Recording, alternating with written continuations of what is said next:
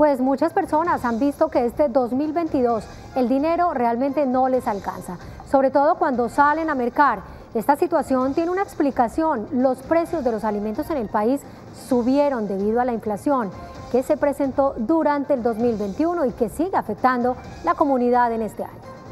El aumento del salario mínimo, el poder adquisitivo de los colombianos y cucuteños ha disminuido, lo que se ve reflejado en las compras y ventas de la canasta familiar. Reactivación económica pasando por la devaluación del peso o inclusive eh, el aumento del salario mínimo en el 2022 que seguramente va a impactar los precios en este año.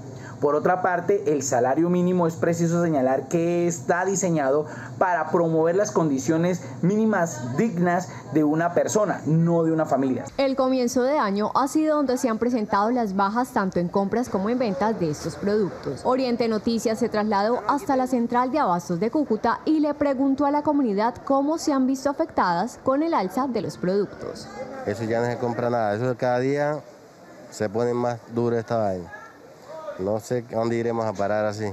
Está muy cara ya también todo lo que es la papa, el plátano. 1800 el bueno y el parejito está 3200. Todo sube todos los días y entonces uno alguna vez se compra un precio, por lo menos hoy se compra un bulto de papa 130, mañana está 110, entonces al día siguiente está 150.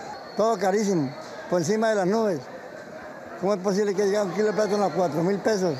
La yuca a 3.000, la papa a 5.000, el tomate a 6.000 el kilo. Entonces, ¿dónde va la canasta familiar? Claro, se ve mucho afectado porque en realidad no alcanza.